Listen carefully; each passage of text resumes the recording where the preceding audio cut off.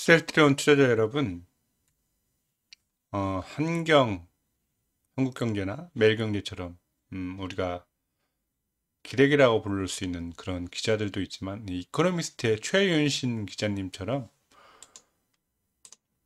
최윤신 기자님 이렇게 팩트에 근거해서 셀트리온에 대한 사실 사실만 적어달라는 거잖아요. 우리 셀트리온 주주들이 원하는 게 뭡니까? 기사를 팩트만 전달해 주는 게 최윤신 기자처럼 그렇게 어려운가요? 우리나라 메이저 경제신문, 한국경제, 매일경제신문 기자들은 어, 그렇게 안 썼죠. 우리가 뉴스를 봤으면, 봤으니까. 근데 이코노미스트의 이 최윤신 기자께서는 이렇게 팩트에 근거한 지금 EC에서 승인 나고 나서 유럽 승인 셀트리온 코로나 치료제 경쟁 약물 대비 부작용 적어. 이거는 그런 지금 여기 보시면 레크로나 발생 가능 부작용 흔치 않은 uncommon 수준의 알러지 반응만 명시했다. 로나프레베 다양한 부작용 명시, 베클루리 다수 알러지 반응 명시. 이 로나프레베와 베르 베클루리가 음, 리제네론과 어, 우리가 흔히 알고 있는 렘데시비르 그거입니다. 그거이기 때문에 참 우리가 이코노미스트의 최윤신 기자는 칭찬해 줘야 될 것 같아요. 내용 같이 한번 보시죠. 유럽 연합에서 허가받은 3종의 신종 코로나 바이러스 감염증 치료제 중 셀트리온 레크로나가 보고된 부작용 종류 중 가장 적은 것으로 나타났다. 셀트리온에서 개발한 코로나19 치료제 레크로나는 지난 10일 EU의 판매 승인을 얻은 EU에서 승인된 세계 코로나 치료제 중 하나로 이름을 올린 바 있다. 길리어드사의 베클루리는 이게 렘데시비르죠. 앞서 승인받았으며 리제네론, 로나 프레베는 레크로나와 함께 승인됐다. 14일 EMA 공개된 레크로나와 로나 프레베, 베클루리의 의약품 설명서에 기재되는 부작용을 살펴본 결과 레크로나가 가장 적은 수의 부작용이 보고된 것으로 나타났다. 아주 내용 좋습니다. 그쵸? 이게 정말 기자가 팩트에 근거해서 써야 되는 내용 아니겠습니까? 레크로나의 설명서에는 가, 설, 발생 가능한 부작용으로 흔치 않은 수준의 알러지 반응만이 명시됐다. uncommon은 100명 중 1명만이 영향을 미칠 수 있는 수준을 말한다. 1% 이외 1% 이내인 거죠.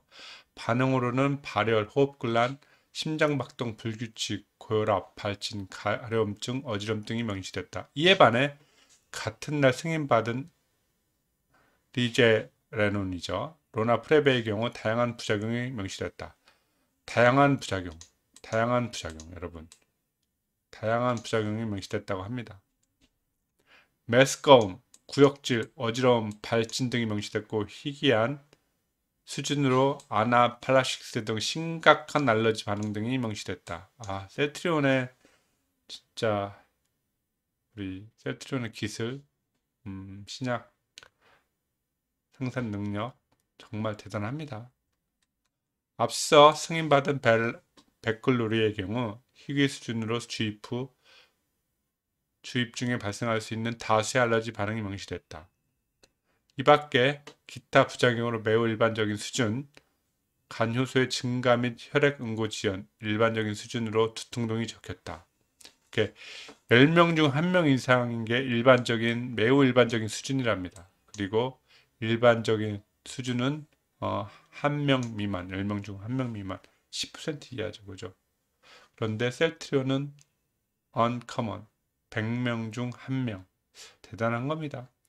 명시된 부작용이 적다고 해서 안정성이 높은 의약품이라고 단정하기는 어렵지만 환자들의 의약품 선택에 있어 긍정적, 긍정적인 영향을 예상할 수 있다. 당연한 거죠, 그죠? 부작용이 없는 약을 쓸, 쓰려고 하겠지, 환자들 입장에서는.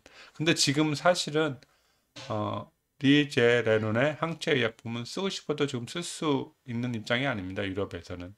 왜? 미국에서 다 아도를 쳐서 미국 이외로는 수출이 지금 잘 안 되고 있잖아요. 특히 향후 경구용 치료제가 EMA에 승인 받더라도 여기 아주 중요합니다. 승인 받더라도 약품들의 부작용, 부작용에 대한 우려가 크다면 레키로나를 선택할 이유는 충분하다. 아, 아주 좋습니다. 미국 머크의 몰루피라비르는 최근 영국의학청에서 긴급 승인을 받았는데 약품의 설명서에는 common 수준의 설사, 구역질, 두통 등이 uncommon 수준으로 구토, 발진, 두드러기 등이 명시됐다. 몰루피라빌은 현재 EMA에서 rolling review 단계에 있다. 여러분 이 최윤신 기자, 아, 이코노미스트의 최윤신 기자 하트 뿅뿅 하트 뿅뿅 우리가 줄 수 있는 건 뭡니까?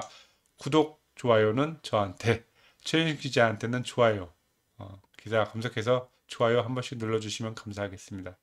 아 오늘 매일경제한테 상처받은 거 이코노미스트 최윤신 기자한테 음, 치유가 되네요. 여러분들 일요일 오후 행복한 오후 보내세요. 감사합니다.